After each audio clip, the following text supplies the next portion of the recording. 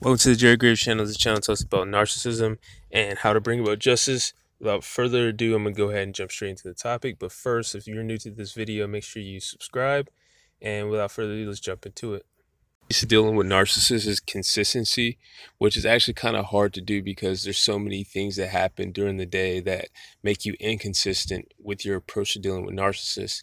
It's like you got to find the thing that works for you and never deviate from it oftentimes we look at big ideas and big concepts for how to deal with narcissists, but it's the small things that once you do put your plan in motion, that makes people come back at you and eventually overcome you.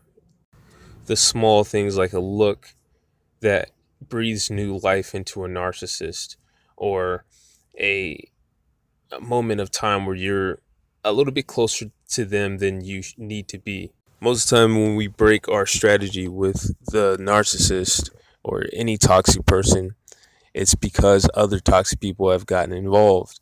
And whenever you're in a toxic working environment, that's going to happen.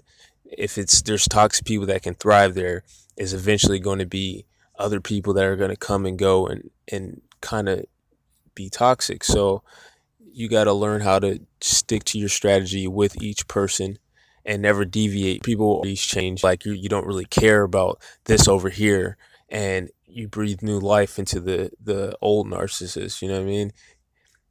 One of the worst strategies, or I would say tactical hell, that you have to deal with is the fact that people can attack you in an indirect way, like steering work away from you or something like that. Something very indirect and that can that right there like little attacks like that is the reason why people break their their strategy. It's just like it's so indirect and almost ambient that you, you you're thinking about and confused about that. And then next thing you know you're not really upholding all the other stuff that you already know you need to do you know? So you got to focus on always just no matter what whatever works you you constantly do it and even write it down write it down.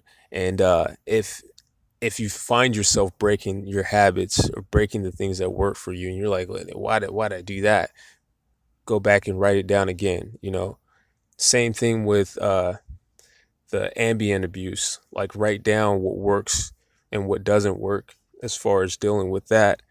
And eventually the things that are bothering you and making you confused so that you do break it, you understand them deeper and deeper to the point where even those things don't work. And then those people are just standing there, you know, just kind of looking at you and wondering why it's not working, you know? And there you have it. You've you've beaten them. You know what I mean? And uh it's that's how it ends up working. If you can deal with the ambient abuse you can deal with, it, with the indirect attacks as well, then you can really take down their whole like shindig. you dig? Peace.